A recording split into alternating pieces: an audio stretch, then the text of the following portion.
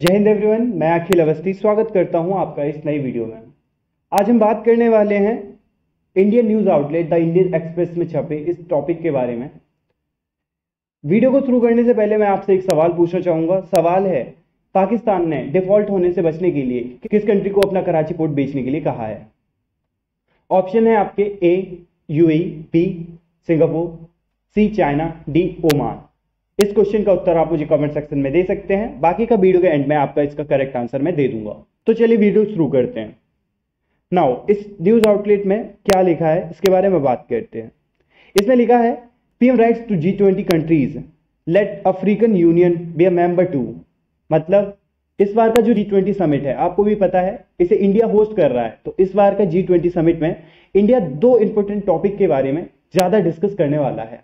उसमें से एक टॉपिक है कि ग्लोबल पॉलिटिक्स को कैसे रीबैलेंस किया जाए। इंडिया के विदेश मंत्री जयशंकर प्रसाद ने यह भी कहा है राइज ऑफ़ अफ्रीका की of global rebalancing because African continent एक ऐसा कॉन्टिनेंट है जिसके बारे में ओवरऑल वर्ल्ड कोई बात नहीं करता है। इसी के चलते इंडिया ने इस बार के जी ट्वेंटी का जो मेन एजेंडा है, इसको यही रखा है कि अफ्रीकन यूनियन को कैसे वर्ल्ड वाइडली कनेक्ट किया जाए। जियो में एक इंपॉर्टेंट रोल प्ले करवाया जाए। बिकॉज़ अफ्रीकन यूनियन एक न्यूट्रल रोल प्ले करने वाली है जियो में बिकॉज़ उसका किसी भी कंट्री से कोई ज़्यादा इंटरेस्ट जुड़ा हुआ नहीं है। इसी के चलते इंडिया ने सभी जी ट्वेंटी लीडर कंट्रीज़ को ये लिख के भेजा है कि इस बार अफ्रीकन यूनियन को या तो हम जी ट्वेंटी का पार्ट बनाए या फिर उसको काफ़ी सारे एश्योरेंस दें। ना अब यहाँ पर ये सोचेंगे, जब वर्ल्ड अफ्रीका के बारे में नहीं सोच रहा है तो इंडिया ऐसा क्यों सोच रहा है? देखिए विकीपीडिया की एक रिपोर्ट के अनुसार अफ्रीका में 54 कंट्रीज़ हैं ओवरऑल मिला के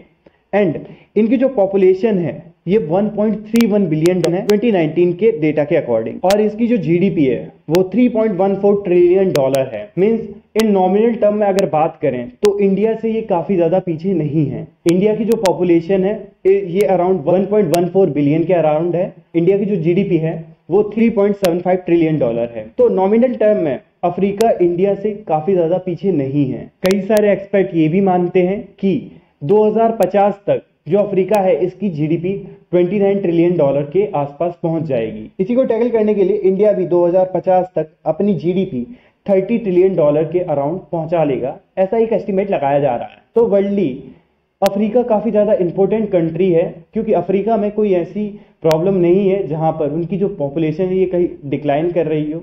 जैसा यूरोपियन कंट्रीज़ में हो रहा है कि वो डेवलपिंग होने के बावजूद भी उनकी जो पॉपुलेशन है, वो डिक्लाइन कर रही है। तो अफ्रीका में ऐसा कोई इश्यू नहीं है और अफ्रीका एक न्यूट्रल कंट्री बन के काफ़ी सारे जियो पोलिटिकल सिचुएशंस पर एक प्रॉपर अपनी राय दे सकता है। इसी के लिए इंडिया अफ्रीका के लिए ये स्टेप्स ले रहा है। इस बार जी ट्वेंटी समिट में अफ्रीका को या तो G twenty G twenty one का पार्ट बना दिया जाएगा या फिर उसके लिए काफ़ी ज़्यादा एश्योरेंस मिल जाएँगी। एंड अब आप कहेंगे इंडिया इतना सब अफ्रीका के लिए क्यों कर रहा है? वर्ल्ड में इतनी सारी कंट्रीज़ हैं जो अफ्रीका के लिए कुछ नहीं कर रही हैं। पर इंडिया ऐसा क्यों कर रहा है? तो देखिए, मैं आपको सिंपल शब्दों में अर्थ ये बता दूँ कि जियो में कोई भी कंट्री किसी की भी हेल्प नहीं करती है जब तक उसका एक खुद का इंटरेस्ट ना हो। यहाँ पर इंडिया का भी है। इंडिया का इंटरेस्ट है कि वो अफ्रीका कॉन्टिनेंट के साथ एक फ्री ट्रेड एग्रीमेंट साइन करना चाह रहा है। द इकोनॉमिक्स टाइम का ये आर्टिकल है।